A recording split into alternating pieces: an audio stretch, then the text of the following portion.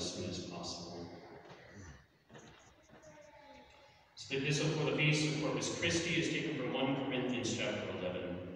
Brethren, I myself have received from the Lord what I have also delivered to you, that the Lord Jesus, on the night in which he was betrayed, took bread, and giving thanks, broke, and said, Take and eat, this is my body, which shall be given up for you. Do this in remembrance of me. In like manner also the cup, after he had supped, saying, This cup is the new covenant in my blood. Do this as often as you drink it in remembrance of me. For as often as you shall eat this bread and drink the cup, you proclaim the death of the Lord until he comes.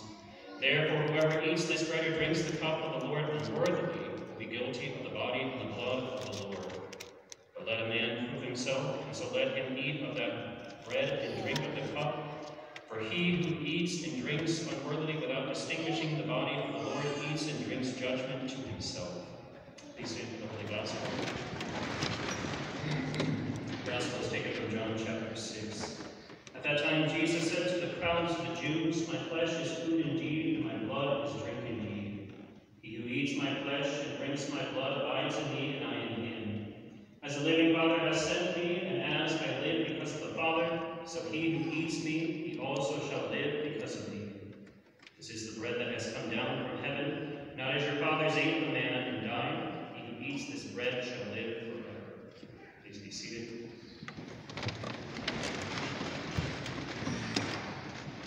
A sacred banquet wherein Christ is received. The Father and the Son and the Holy Ghost. Amen. With this feast that we celebrate the external solemnity, and you will see that the church tries to help us to, to properly celebrate the feast, where they will even permit that you have the external solemnity on Sunday, because during the week sometimes you don't have the opportunities to do, um, like the procession of the Blessed Sacrament, different things, allowing the faithful to be able to participate. So you have these external solemnities. Now this is the feast of the body of Christ.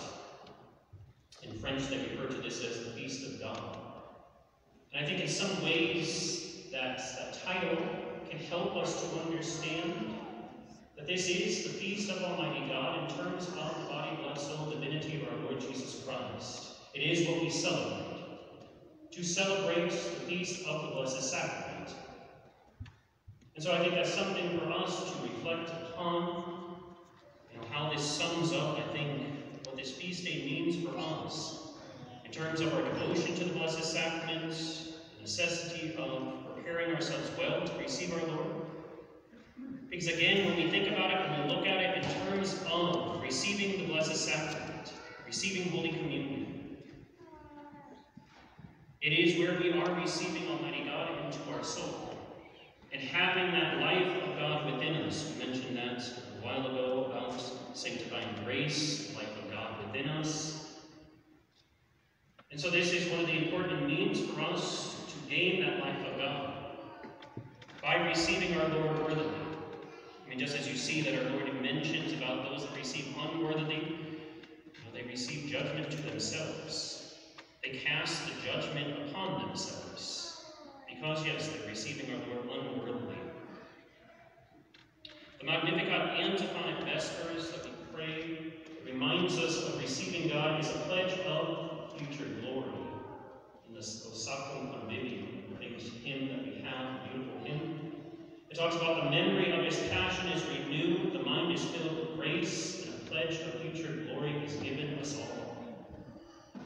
And I think that's something that also for us to reflect upon. That as we receive Holy Communion, as we try to have that life of God within us, that this is a pledge for our future glory. And that's exactly what our Lord is saying. That you will live forever. And he's obviously referring to the fact of, you know, our life in heaven, God willing. Where other people he, mentions about, you know, the fathers, the old fathers of, you know, when they received the manna coming down. That was to, to feed them in the desert. It was symbolic of Holy Communion. But that was to feed them in the deserts. But as he mentions, they still died, you know, obviously from that. Because it wasn't, it wasn't truly the body of our Lord. It It was symbolic of it, yes. But the body of our Lord, to where then, God willing, we will live forever. Live forever in heaven. And that's what this hymn, the Sacrum Convivium, this antiphon, of how it reminds us of that pledge that God is offering to us. By receiving Him, by being united with Him, abode with Him, that you will have this pledge of future glory. And I think that's where we have to reflect upon so much is contained in the Blessed Sacrament. So much is contained for us, the devotion that we should have. We can say certainly that was something that was attacked the changes at the Second Vatican Council, the lack of devotion, lack of respect for the Blessed Sacrament, receiving the hand. All of these different things that will lessen our true devotion that we should have to the Blessed Sacrament. And I think that's where then for us we reflect because we have obviously um, the proper respect that is given to the Blessed Sacrament. And that should then therefore foster in you a greater devotion to the Blessed Sacrament, of making the visits, you know, coming for adoration, coming for benediction.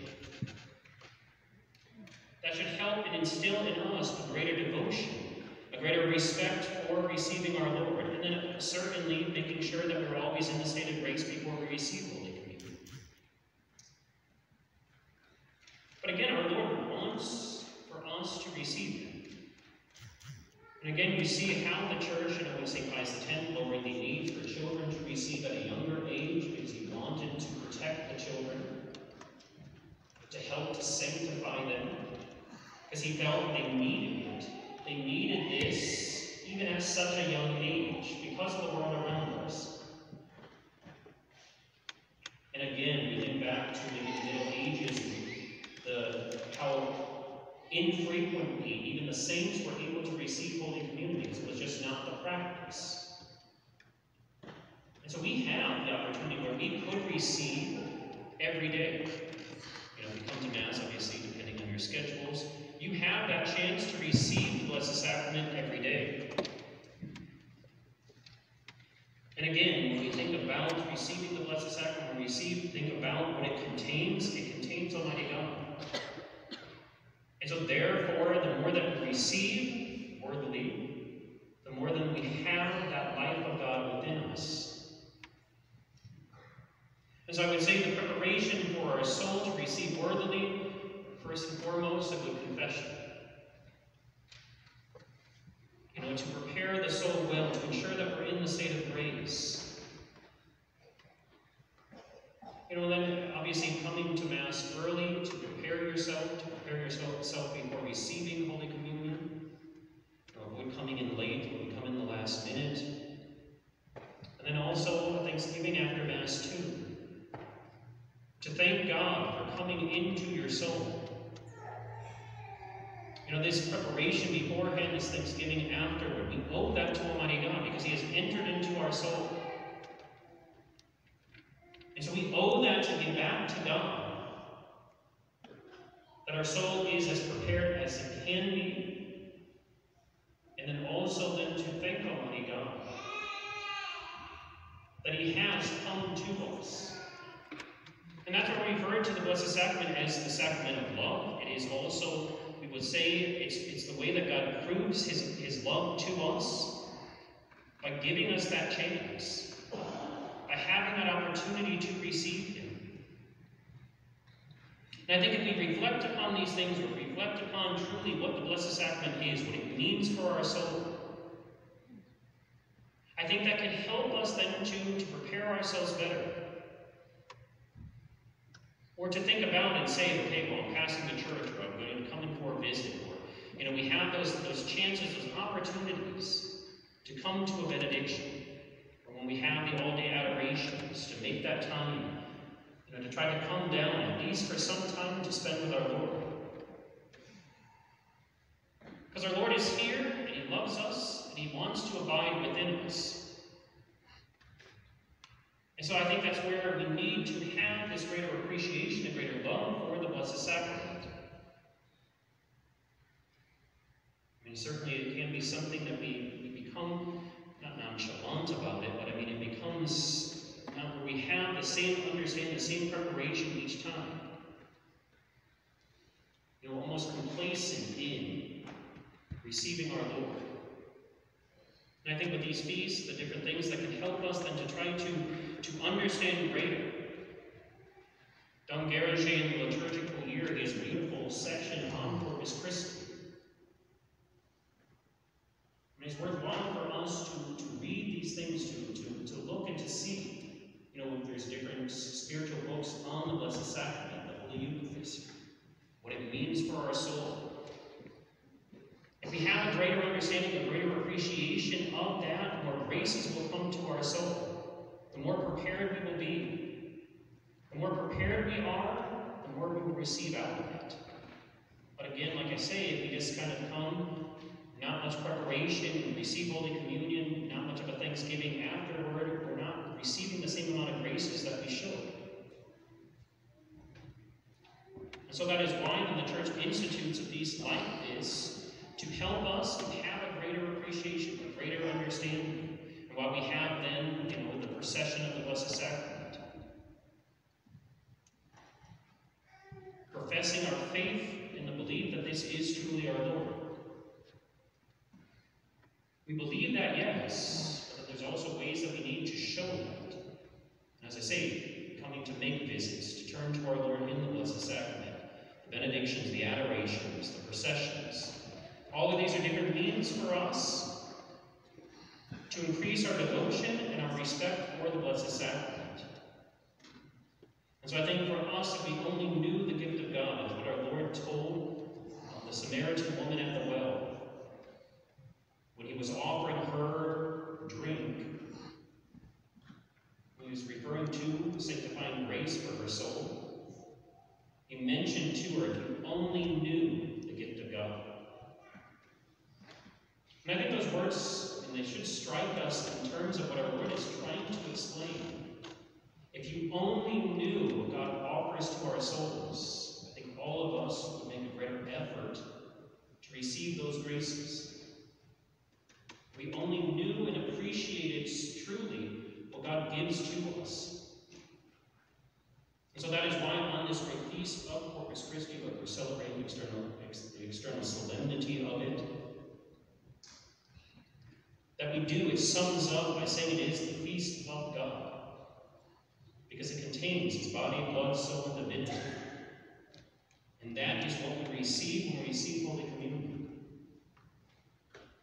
So, God willing, we will take more of a preparation and more of a thanksgiving to truly appreciate what God has given to us, this gift of God. So, therefore, that will be the pledge of our future glory. In the Father, and the Son, and the Holy Ghost. Amen.